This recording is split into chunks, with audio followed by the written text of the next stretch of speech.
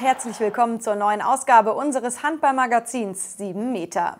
Schon seit zehn Jahren läuft Patrick Grötzky für die Rhein-Neckar-Löwen auf. Da macht ihm keiner mehr etwas vor. Wir durften jetzt aber dabei sein, als sich der Rechtsaußen auf ganz unbekanntes Terrain begeben hat.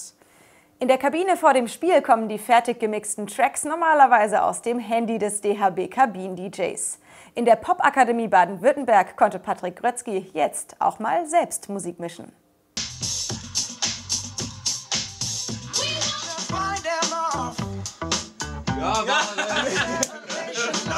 Taktgefühl hat Patrick Grötzky. Die Turntables, Neuland, aber er hat sie fast schon so gut im Griff wie den Handball. Kein Wunder, ohne Musik geht bei ihm nichts. Ich höre, wenn ich zu Hause bin, eigentlich fast die ganze Zeit äh, Musik, da läuft immer was. Im Auto höre ich ganz viel Musik, wenn wir unterwegs auf Reisen sind und deshalb äh, nimmt schon einen wichtigen Teil auch ein.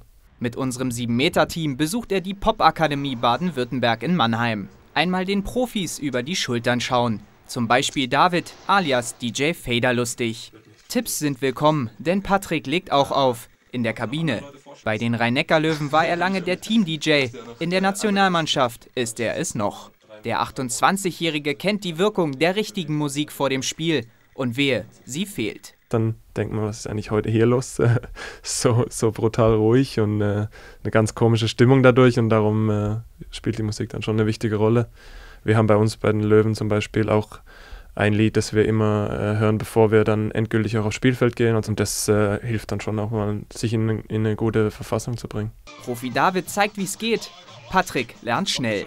Berührungsängste beim Badener? Keineswegs. Privat hört er vieles. Coldplay, Jack Johnson oder Hip-Hop der 90er. Die Sounds von David treffen seinen Geschmack. Sein Lehrer sieht noch einen weiteren Grund für das DJ-Talent des Handballers. Als Rechtsaußen hat er dieses, dieses Ballgefühl, dass er diese Trickwürfe machen kann mit der linken Hand.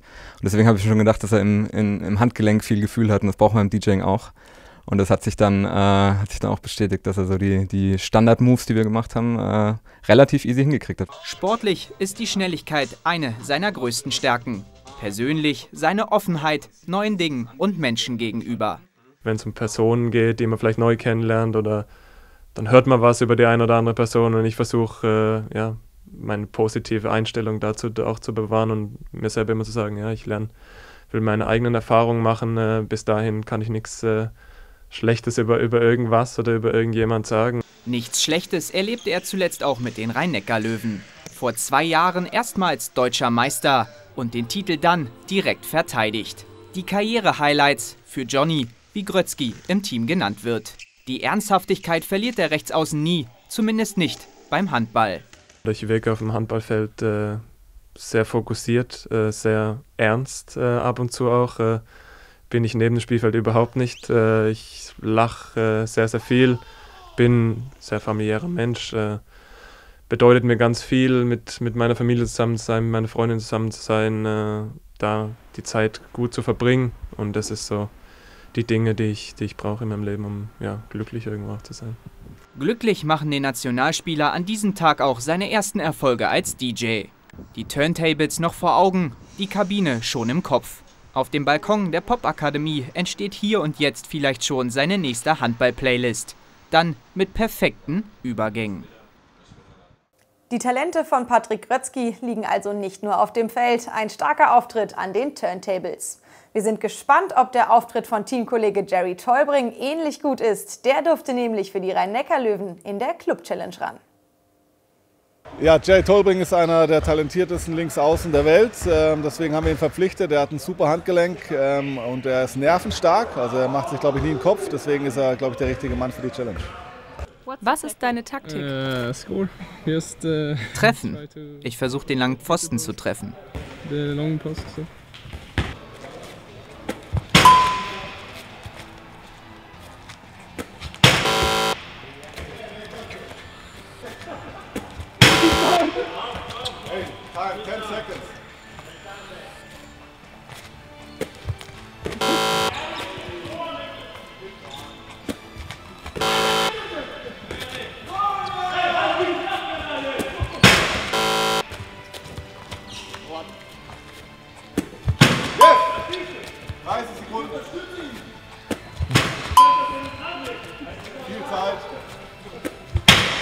Yes!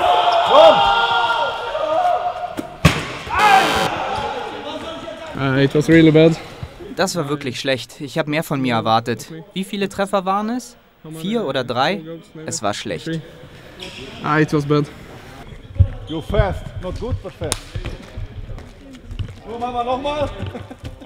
In der Liga läuft es für die Mannheimer aktuell auf jeden Fall besser als in der Club Challenge und ein ehemaliger Löwe schaut sich das aus Frankreich sehr genau an.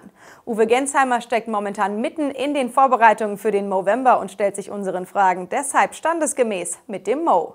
Sein Liga-Check jetzt für euch. Ja, so wie es im Moment aussieht, glaube ich, dass ähm, mein alter Club, die Rhein-Neckar-Löwen, da ganz, ganz große Chancen haben, aber auch die Füchse Berlin haben natürlich jetzt einen Riesenstart hingelegt, wenn vielleicht auch noch nicht äh, die ganz, ganz äh, großen Gegner dabei waren, aber sind für mich auch eine Mannschaft, die so langsam reif dafür ist. Aber ich tippe jetzt einfach mal auf die Rhein-Neckar-Löwen. Ja, bislang ähm, bin ich ein bisschen überrascht, dass, dass Minden und Gummersbach noch nicht so viele Punkte geholt haben. Ähm, auch Lübbecke äh, bislang noch gar nicht so richtig in der Saison drin. Sind für mich Überraschungen. Und ja, Hüttenberg als Aufsteiger wird sehr, sehr schwer haben, meiner Meinung nach, obwohl sie sehr, sehr gut spielen. Also das sind so die Teams, die, die auf meinem Zettel sind. Die Rhein-Neckar-Löwen sind sehr, sehr gefestigt mit einer, mit einer guten Abwehr, sehr, sehr sicheren Abwehr, guten Teutern dahinter. Ähm, spielen eigentlich auf allen Positionen sehr, sehr konstant. Äh, Hannover-Burgdorf war natürlich als Überraschung ein Stück weit am Anfang der Saison, vor allem nach der verkorksten Rückrunde im letzten Jahr. Ähm, klar, der THW Kiel, dass die am Anfang so schlecht reinkommen, äh, war nicht so zu erwarten, aber ich glaube, dass die Mannschaft, dass Burgdorf und Berlin bislang die Überraschung sind. Ich glaube, dass äh, ja, die Entwicklung von Hendrik Peckler sehr, sehr erfreulich ist, wie, wie konstant er auch in Abwehr und Angriff äh, jetzt ganz, ganz starke Leistungen zeigt.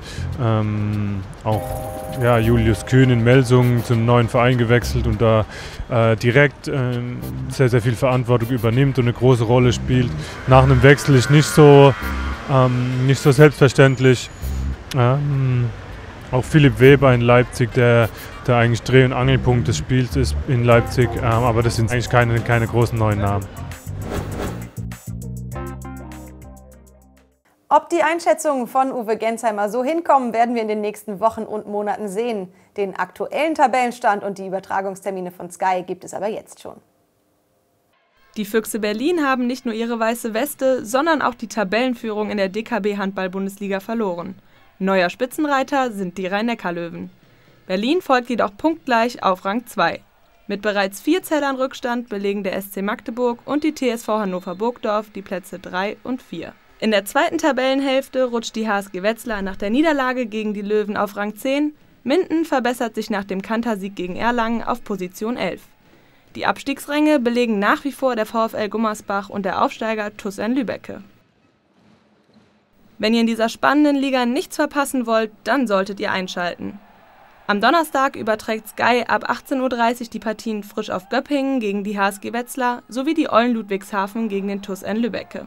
Jede Menge Spannung verspricht auch der Samstag. Ab 13.45 Uhr geht's los. Die Füchse Berlin empfangen den Rekordmeister THW Kiel. Am Sonntag gibt es die geballte Ladung Spitzenhandball ab 12 Uhr in der großen Konferenz. Im Topspiel des Tages könnt ihr euch auf den VfL Gummersbach gegen den Vizemeister aus Flensburg freuen. Zum Abschluss dieses Handballtages gibt es wieder den Handballtalk von und mit Stefan Kretschmer. Mehr Infos und Stories aus der Handballwelt gibt es in zwei Wochen wieder bei uns. Nächster Sendetermin ist der 1. November. Vielen Dank fürs Reinschauen heute und bis zum nächsten Mal. Tschüss.